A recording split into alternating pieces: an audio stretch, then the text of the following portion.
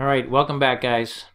So now we're looking at a real schematic diagram with a real contactor in it. And I'm going to show you why you really need to understand schematic diagrams and why contactors and relays a little bit more difficult.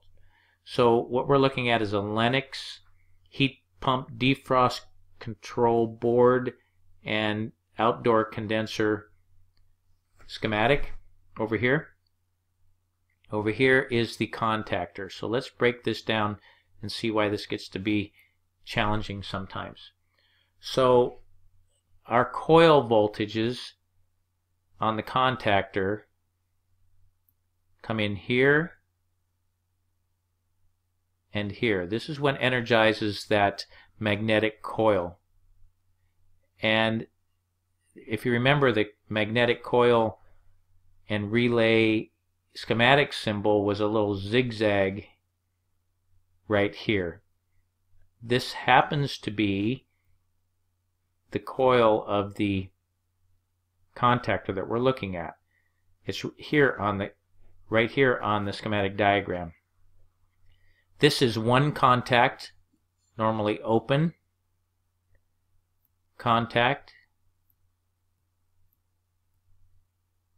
and this one just happens to be a straight bus bar that goes through here. Power is always applied. It's not even a contact. It's a straight bus bar. So on a, on the contactor itself, everything is in one physical area in one component. But on the schematic diagram, we have our contactor coil here, and then we have the normally open contact here, and the straight through bus bar right here in three different locations on that schematic diagram. And if you have a relay, you can you could conceivably have one contactor coil and several of the normally open, normally closed contacts depending on the circuit.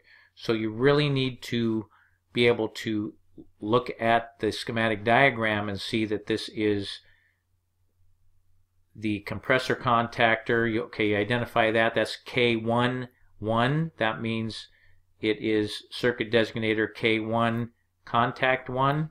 Then it shows, then you don't have a contactor at all, but it does contact at all, but it does say compressor contactor.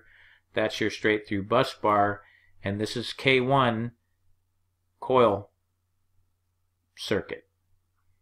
All right, so a lot of the manufacturers are, are going to have different designators. They may have different schematic symbols, but these are the basic ones.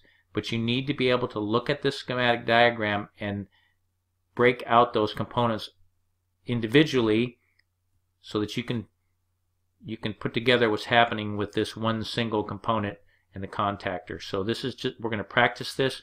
We will revisit this. We'll go through this whole the defrost control sequence when we get into heat pumps. We'll take this and go through from A to Z and break it down. But right now, you just need to remember that the, the contactor and relay, while physically it is all together, on the schematic it's going to be broken apart so that it's easier to read and diagram out with the wiring and components in the circuit.